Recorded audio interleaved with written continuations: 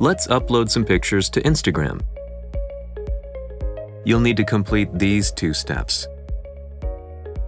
First, download the pictures to your smart device. After establishing a Wi-Fi connection, tap Download Pictures in the SnapBridge Camera tab. The pictures on the camera memory card will be displayed. Tap Select in the top right corner of the display. Tap Pictures to select them for download.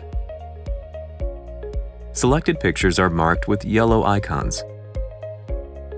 After selecting all the pictures you want to download, tap Download. Tap to choose a download size.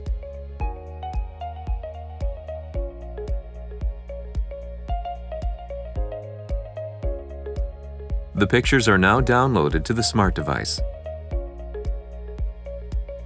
Now let's upload the pictures to Instagram.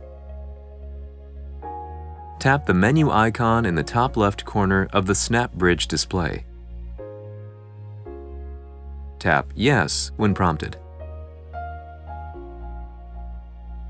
Tap the Instagram icon at the bottom of the display. To open the Instagram SnapBridge hashtag page, which shows photographs posted by users from all over the world. Tap the arrow in the top left corner of the display to access your Instagram account. Tap the icon at the bottom of the display to open the posting dialog. Select the pictures you want to post and tap Next.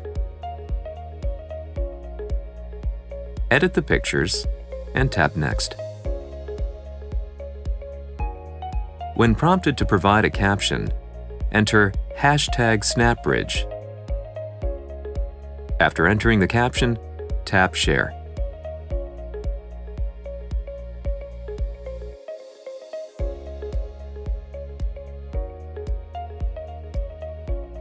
Your pictures are now posted to Instagram's SnapBridge hashtag page.